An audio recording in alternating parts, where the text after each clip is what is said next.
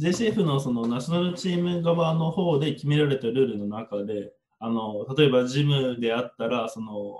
プライベートジムっていうか、そのナショナルチームのメンバーしか入れない場所でジムをしたりとか、あとは労働行くときだと、そのなるべく大人数にならないように、まあ、基本1人が今の時期多いんですけども、少人数で、はい、気をつけてトレーニングしてます。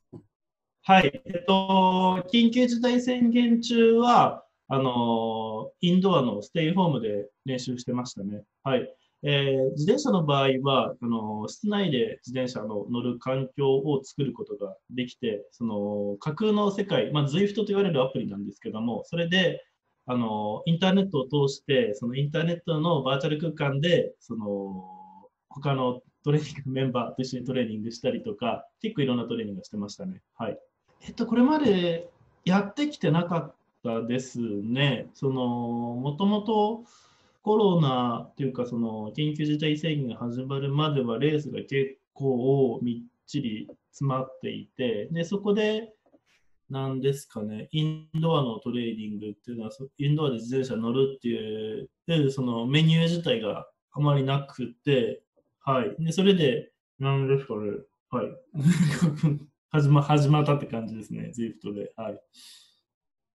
はい、えー、っと、苦し、楽しい苦しいができるってことじゃないですかね。はい、あの、ZWIFT の、ま、インドアのところで基本、人と競うっていうのはないんですよね。だいたい時間が10分だったり、10分を高い、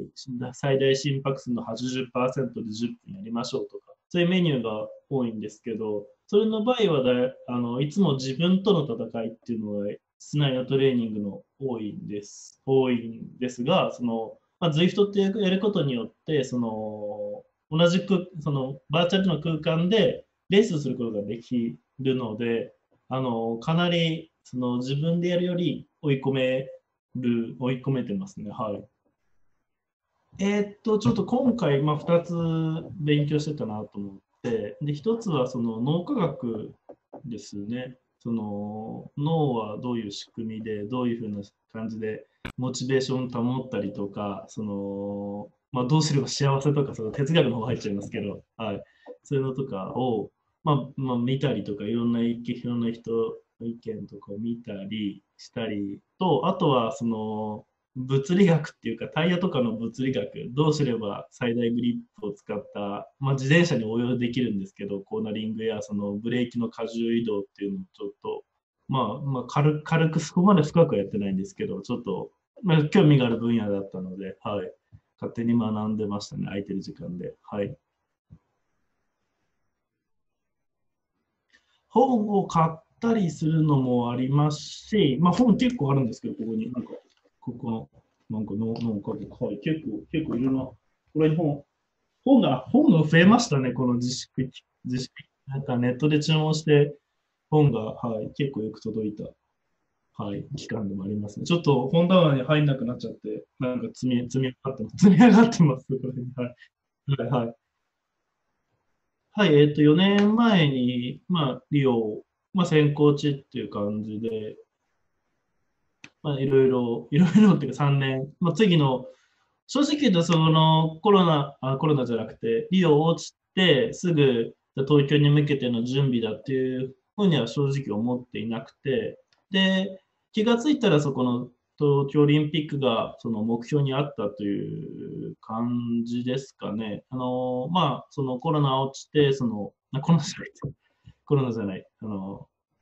リオが落ちて、で、まあ、競輪挑戦したり、その、ロードチームの方に入ったりした中で、まあ、そこの中で、あの、速くなるにつれて目標が、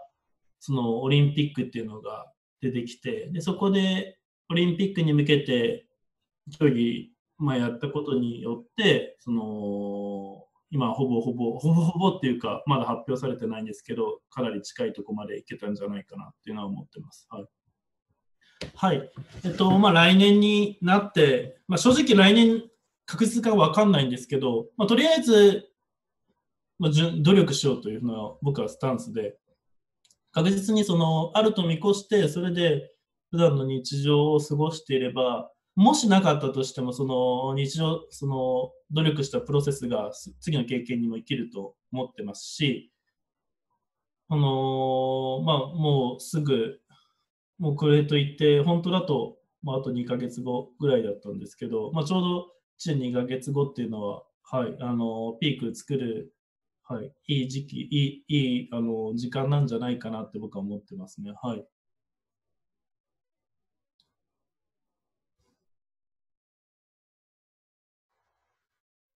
あ、は、そうです、そうです。はい。あの、今年の世界選手権だとちょっと、あの、まあ、準備不足というか、もう自分の思ってるよりの成績が出なかったので、そのままオリンピック行った場合、ちょっと、まあ、自分の中でもメダルっていうのが、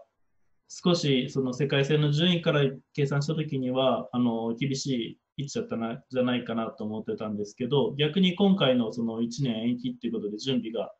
期間が長くなったことによって、そのメダルに近づけるんじゃないかなと僕は思ってます。はい。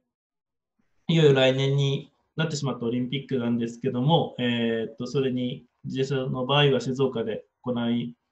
行うことが決定していて、でその僕のその静岡で走ることによって県民の皆さんにその元気を与えれる走りをできたなと思っています。